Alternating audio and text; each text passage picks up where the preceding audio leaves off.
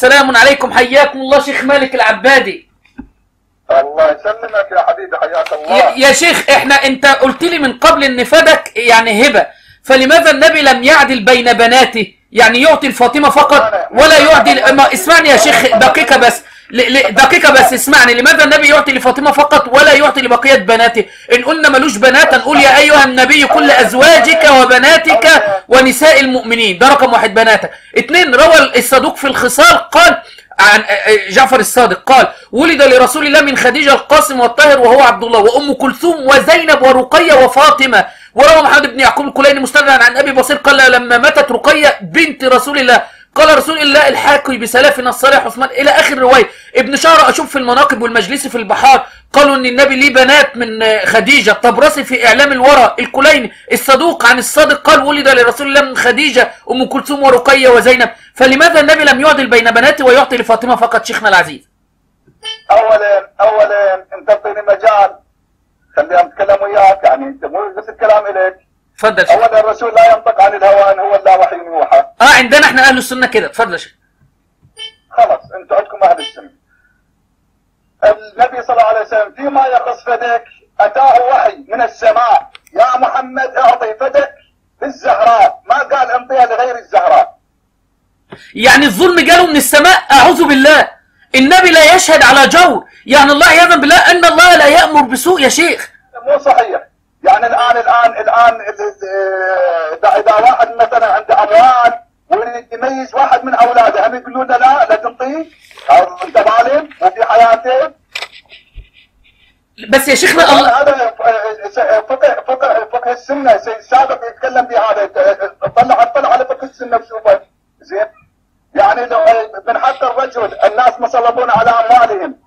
يعني من حق الرجل إذا كان عنده ثروة ويريد يوزع الثروة مالته ان يميز أحد أولاده ل- ل- لأمر ما. كان يكون أكثرهم علما كان يكون أكثر أنا اتنازل معاك بهذا القول يا شيخنا يبقى النبي النبي ميز فاطمة رضي الله عنها. لا ده النبي أعطى فاطمة فقط وهذا ظلم. النبي أعطى فاطمة فقط وهذا ظلم. طب يا شيخ هل أنت إحنا نقول إحنا مو ظلم إحنا نقول إحنا نقول أنت لا تقول ظلم ومصر على أنه ظلم إيش أسوي لك أنا؟ طيب يا شيخنا هل سيدنا علي رضي الله عنه يعني لم يطلب لم يطلب الامامه لنفسه بعدين هو من اعطاك فدك مولانا من اعطاك فدك لفاطمه؟ أنتم تزعمون إن عمر عمرو بن عمر بن عبد العزيز أعطيت فدك لفاطمه هل أعطيت فدك لفاطمه؟ لو لو لو لو اختصموها من فاطمة أرد عليك يا شيخنا أنتوا بتقولوا إن إن اللي اعطاها وكان عادلا واعطاها لأبناء فاطمة هو عمر بن عبد العزيز كان اعدل من علي واعدل من الحسن واعدل من الحسين عندك هذا الكلام نتكلم به بعد الرسول صلى الله عليه وسلم مباشرة. إحنا إحنا زمن عمر بن عبد العزيز وحد هذا غير. إحنا نتكلم الآن بعد الرسول. بعد الرسول ماذا حدث بعد وفاة الرسول؟ هل اعطيت فدك لفاطمة أم أخذت من فاطمة؟ طيب يا شيخنا ولماذا علي لم يعطيها ما أنت اديني دليل إن هي بتاعت فاطمة. الرواية اللي حضرتك بتقول لي عليها اقرأها كده يا شيخنا. ان النبي قال اقرأ اقرأ عليا الرواية ان النبي قال الفدك لفاطمة ديت. أنا الآن فوق مو مو محضر الرواية. أنا جالس بمكان عام. طيب مو بحضر الرواية أرد عليك يا شيخنا أرد عليك بقول الله تبارك وتعالى اسمعني يا شيخنا سامعني أيوة. طيب أرد عليك بالحديث اللي صححه المجلسي في مرآة العقول إن نحن معاشر الأنبياء لا نورث. ما تركناه صدقه الرواية في كتاب الكافر لمحمد بن يعقوب الكليني وصححها المجلسي في مرآة العقول وأيضا ال- السيد النبي النبي يقول نحن معاشر الأنبياء لا نورث والقرآن يقول وورث سليمان داوود آه، ف- و- ورث إيه يا شيخنا؟ الرسول لا ينطق عن الهوى. ورث إيه يا شيخنا؟ هذا كلام احتجت به الزهراء على على الخليفه الأول طيب. عندما آه، منع الزهراء من فدك ووقفت امامه واستدلت بهذه الروايات وقالت وورث سليمان داوود ورث منه إيه يا شيخ. ورث منه إيه وأنت عندك الرواية؟ و- وهسمعك تسجيل لمشتبه الشيرازي اسمعني يا شيخ. مولانا دقيقة اعطيني مجال طب اتفضل اتفضل اعطيني مجال أنت تتكلم برواية وهذه أنا أتكلم لك بالدراية أتكلم لك بالنص. أقول لك ال- النص يقول وورث سليمان داوود. يعني كل ما يقوله الكليني صحيح وكل ما يقوله فلان صحيح لا. إحنا عندنا نصوص بالقران نتكلم بها الآن إذا القرآن يقول النبي يحق له ان يخالف القرآن يصير طيب أرد عليك شيخنا انتهيت آه. طيب أول حاجة آه، روى الصدوق آه، في في الخصال والرواية في البحار المجرد 14 صفحة 25 وفي الامالي أقصد للصدوق صفحة 118 قال كان داود عليه السلام فقيرا حتى قال فقال الله لداود فما لي أراك فقيرا وقد أعطيتك؟ قال القيام بحقك أفقرني. ولكن سلي سليمان ورث من داود نقول العلم ورث من داود النبوة ورث لكن أصلا سليمان فقير. ولقد آتينا داود وسليمان علما اسمع الآية. قلنا وورث سليمان من داود يبقى ورث إيه؟ ولقد آتينا داود وسليمان علما يبقى ورث العلم. أنا أسألك سؤال الآن. الله فضل سليمان وداود على كثير من الناس. فضلهم بالمال ولا بالعلم؟ ولقد آتينا داود وسليمان علما وقال الحمد لله الذي فضلنا على كثير من عباده. بإيه؟ بالعلم. يبقى ورث العلم يا شيخ. ف... وبذلك يسقط استدلالك بهذه الآية. وأنا ما زلت أطالبك. هات. خلينا نضيف شيء. اولا ال- الميراث متى يكون؟ الم- الميراث متى يكون؟ بعد الموت. متى متى متى مولانا دقيقة اعطيني مجال متى يرث يرث الابن الاب؟ متى؟ بعد موتي بعد موته. نعم موت؟ نعم بدك اعطيت للزهراء في بعد موت النبي ام في حياة النبي. أنت لسه قايل إن هي هبة بقى من شوية يا شيخ. أنت رجعت تقول لي دلوقتي إرث. أقول لك أنا جاي أقول لك جاي أقول لك النبي أعطى الزهراء بعد ورثه الزهراء. بدت بعد موت النبي ام؟ ما انت دلوقتي أنا مش عارف مين اللي بيملي حضرتك يا شيخنا. يا في حد جنب حضرتك بيمليك؟ أنا مش عارف إيه هي ف- فدك. جاي تتكلم عن ميراث مولانا. هذا مو ميراث بدت مو ميراث. ما انت لسه دلوقتي بتقول لي ميراث. أنا مش عارف حضرتك الآية اللي حضرتك أنا استدللت عليها. انت دلوقتي هي مولانا مولانا اولا أنت ميز بين الميراث والنحلة. بدك نحلة نحلها النبي للزهراء في حياته. طيب. طيب،. نحلها النبي. نحلها- غير الزهراء وهي من حقها أن تعطيها لمن تشاء. طيب إن... ارد عليك يا شيخ. إن... النبي أعطاها للزهراء نقول النبي صلى الله عليه وسلم لا يشهد على جور إما راجل قتل النبي صلى الله عليه وسلم وقال له أنا يريد يعطي بستان أو شيء اعطاها كيف ينطق بأمر الله مزج فين أين أمر الله يا شيخ؟ أنت لسه قايل لي الروايات دلوقتي مش كلها القرآنية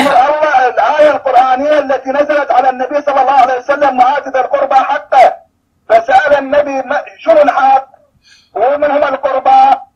فسأله سأل جبرائيل قال إن القربى هم الزهراء.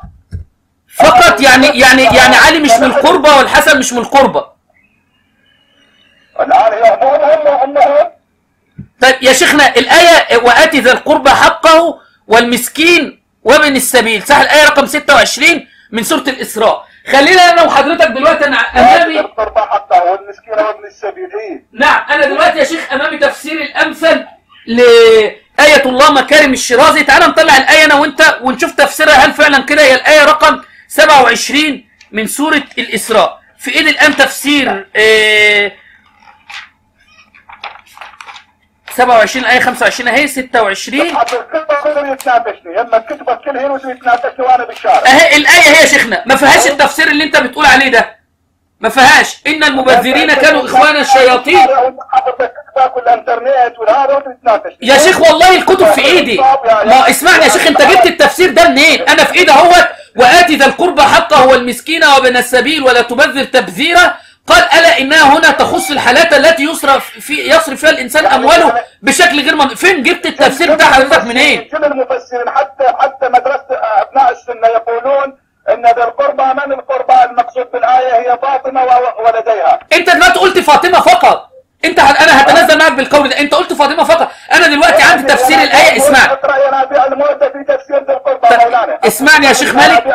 اقرأ في طيب. طيب يا, شيخ مالك أنا دلوقتي تفسير الأمثل في إيدي دلوقتي بيقول لك واتي ذا القربى حقه قال الصادق عليه السلام من أنفق شيئا في غير طاعة الله فهو مبذر ومن أنفق في سبيل الله فهو مقتصر واتي ذا القربى حقه والمسكين وابن السبيل ولا تبذر تبذير. ما فيش واتي لا تعتبر دليل على اختصاص هذا الحكم به لأن جميع الأحكام اللي ورده في المجموعة من الآيات كالنهي ما فيش.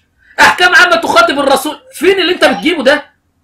التفسير حضرتك اتي ذا القربى حقه أي اتي فاطمة فدك جبت منين التفسير ده يا شيخ؟ اقرا اقرا اقرا لا يا نبي الموتى في في تفسير ذا القربى ونور الأبصار. طب ما تقرأ إيه- إيه، قول لي يا شيخ الرواية. تقتصر على كتاب واحد. طب يا شيخ عجيب يعني فدك شيخنا الآن علمت من حضرتك إن فدك ذكرت في القرآن وفاطمة طالبت في فدك من الخليفة الأول والخليفة الثاني وإمامة علي لم تذكر في القرآن وعلي لم يطلب بالإمامة لنفسه إذا فدك أهم من الإمامة وفاطمة أشجع من علي في دين الإمامية الاثنى عشرية رحت فين يا شيخ؟ مين اللي بيسلطك ده أنا عايزه يتكلم يا شيخ يعني تسمعني؟ آه فأغلق الخط أغلق. كما ترون يعني ده أصل من أصول دين الإمامية الاثنى عشرية فدك قلت في الآخر يعني هذه الأرض ذكرت في القرآن وفي آية تنص على إن فدك. لفاطمة. أعوذ بالله ما أكذب المراجع يا إخوة. كان معكم يعني المعمم الشيعي إيه اللي أنتوا سمعتوا صوته الآن اللي هو تعالوا نعيد عليه اتصال تاني. إيه رأيكم يا إخوة؟ اللي هو الشيخ مالك العبادي. تعالوا نشوفوا كده هيرد عليها ولا لأ.